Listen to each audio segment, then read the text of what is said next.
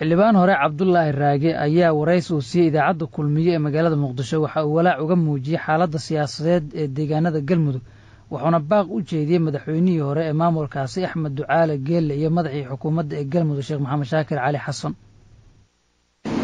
waxaan waa soo koobayaa galmudug mudday soo jiitamaysay barnaamijkeedu siyaalo kala duwan buu ku soo bilowday ilaa dhismihii ugu horreeyey hadda marxaladda ay ku dambayso waxaan jeclaan lahaa inaan u kala qaado. Shaksi shaksi inaan u abbaaro. Waxa weeye madaxweynihii hore xilka ka sii degayey xaaf inta uu samayn karo waa sameeyey ila tahay wanaag waa sameeyey. Heshiis sunna waljamaaca iyo galmudug wuu heshiisiiyey dhuusamareeb baa laysugu yimid. Si kastaba ha noqotee waxaad arintaas aad moodaa in fashilaadii ugu dambaysay ay ku timid isagoo meeshii ay sunna waljamaaca ka wareejiyeen oo ay dowladdii soo dhoweeyeen oo ay dowladdii la heshiiyeen oo barnaamijka marka horta xaaf waxaan dhihi lahaa xilligii xilliga intii kugu filan aad soo marisay baad soo marisay maanta galmudug la kala qayqaybinayo oo la kala gogoynayo oo madaxweyneyaal loo kala samaynaya inaad ka badbaadiso oo aad arrintaa adigu ka joogsataan dhihi lahaa madaxweynihii hore xaaf aad baan u boogaadinayaa aad baana waxaan u leeyahay waa in uu u tanaasilaa galmudug midnimadeeda iyo wadajirkeeda si loo baadi doono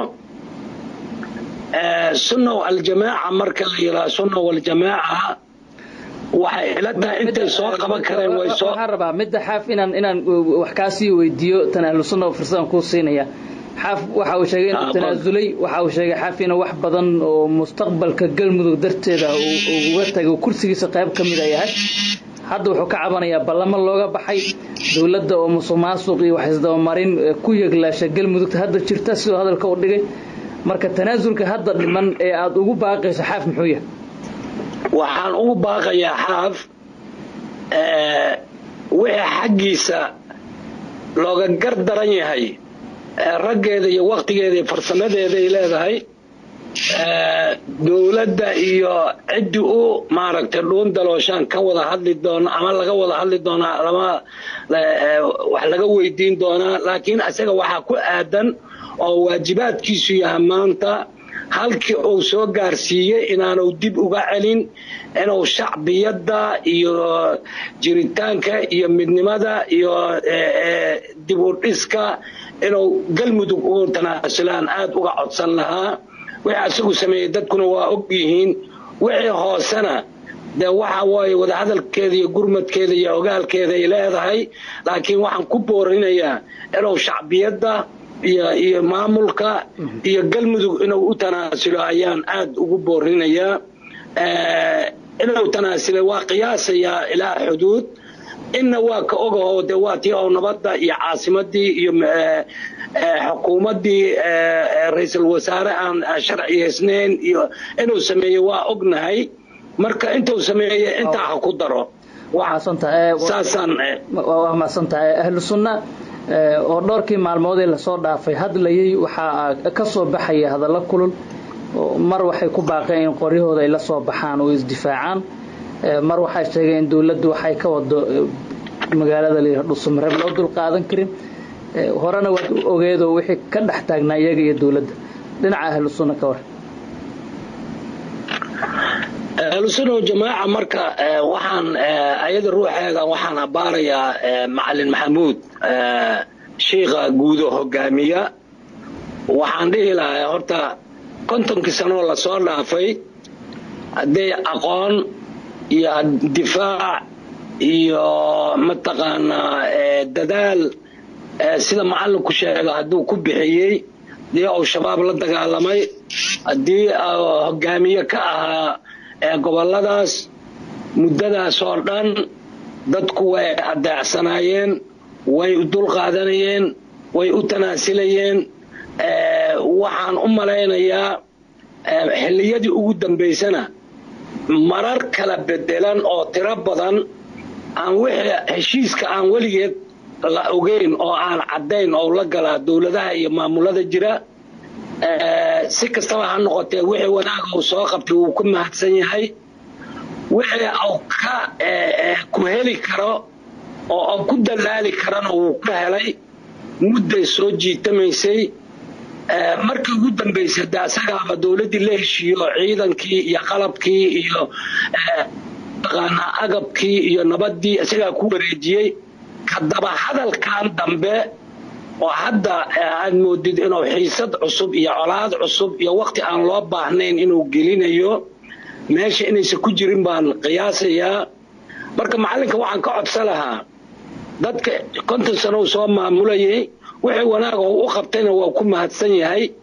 Wixii oo ku helayna allaha u calfo inuu u daayo wixii mas'uuladaas qaadaya ciddii qaadaysa inuu u daayo in uu dadka fasaxo nabadda inuu fasaxo maamulka dambe la dhisay ama ka la dhisi doona inuu fasaxo in maamuladaas hadda waxa ku soo saa'idaa mar walba maamul waxa ku soo saa'idaa ama dhibaato ama khasaaray keenayaan.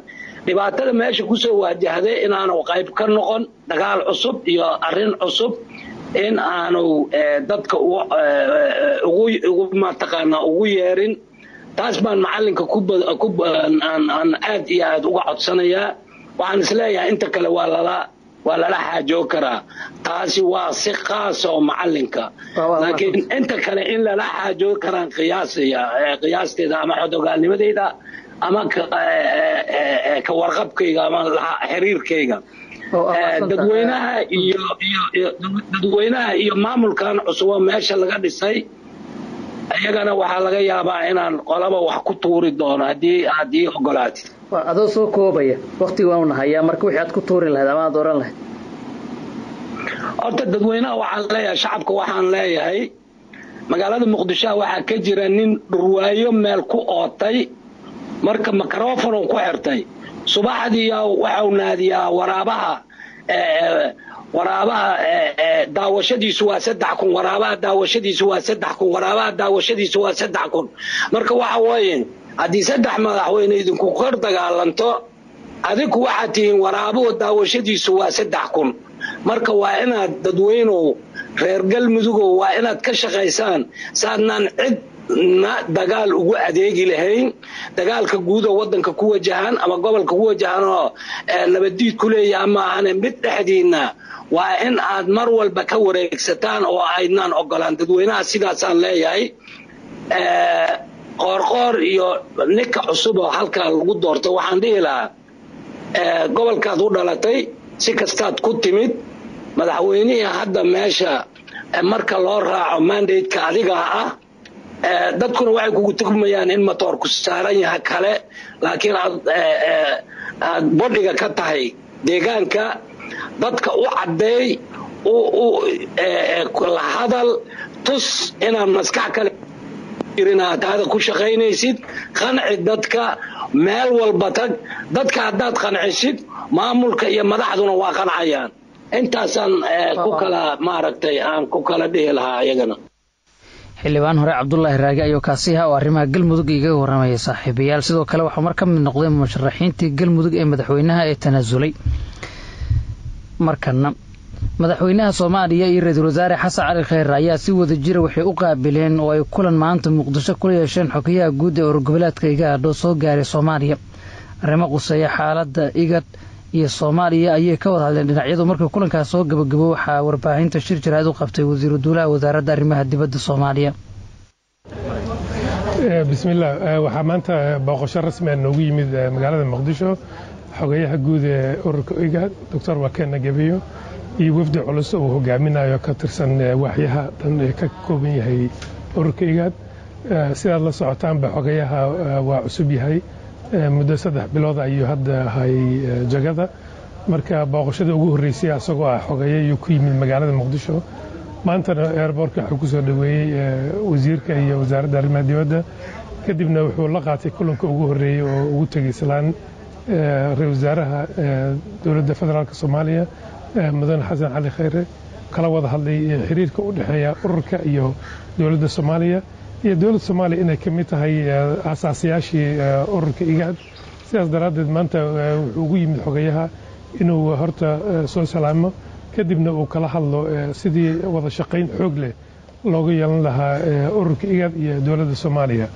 Ururka igaad waa urur goboleed ku beeysan yihiin toddoba deeluudeed oo afrika barigeeda ah wax badanna wuxuu ka qabtaa soomaaliya iyo waddamada dariskaaba xafiis ayuu halkan ku leeyahay. Wuxuu leeyahay ergargaara marka sidii waxaan ka wada hadalnay sidii looga faa'iidaysan lahaa ururkaas waxyaalaha uu sameeyo iyo sidii dowladda soomaaliya iyo ururkaba ay wada shaqayn dhow ay u yeelan lahaayeen